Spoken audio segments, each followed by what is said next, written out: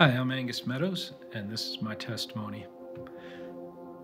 The Bible says that they shall overcome by the blood of the Lamb and the word of their testimony. So I wanted to share with you my story so that hopefully you can overcome just as I have.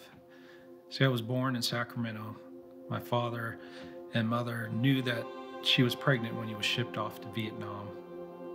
When my dad came back, he had several issues, mental issues um, that affected our family.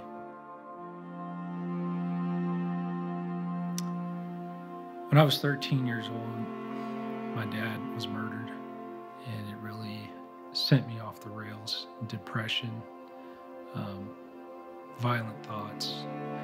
I figured that I had to protect myself from then on and protect my mom. And I did everything that I could to do such. Uh, I would lie. I would um, go places that I shouldn't, do things that I shouldn't do. And really was on a downhill spiral. And this lasted for a few years. I tried to run away from home and um, tried to really find ways to comfort myself and to just be someone that I, deep down, I really didn't think I was, but I thought I had to be in order to be a man. Which is kind of funny because I'd never really seen what a real man had been like. My dad had a lot of mental issues after Vietnam, and um, my mom had to divorce him. So he, while he was around and in our life, it wasn't a constant. There wasn't any training and any conversation on manhood, and and so I was just kind of figuring things out on myself, and uh, trial and error, bringing a lot of problems to myself. Um, when I was 16, I ended up going into a psychiatric hospital for depression and uh,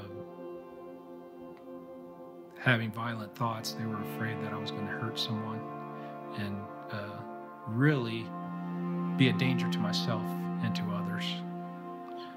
And really, if I think about it, I, today I should be a statistic. I grew up in a low income neighborhood and my dad being murdered, my mom raising, being a single mom. A lot of the guys I know are either in jail or dead. And, but I, that's not me. I'm not there. That's not my story or, or my testimony. Um, not all things were bad. I met my wife when I was 16, and we've been together now for 34 years, so not everything has been bad. But if I were to think about it and tell you what my testimony is, I can't say that my testimony is all the things that I've been through or all the things that I've done. Because I don't think my testimony of the things that I've been through, those are just history stories. Those are just experiences that, that God has used to shape me. Uh, my real testimony is Jesus Christ. When I stand before God, I'll be able to say, look at his life, not my own. Um, I think we we even in the church get our testimonies wrong sometimes. We want to tell about all the bad stuff that we've done and all the bad things that we've been through. And those are a part of our story. Those are part of that shape us as men and women. But when we stand before God, our true testimony will be what Christ has done for us.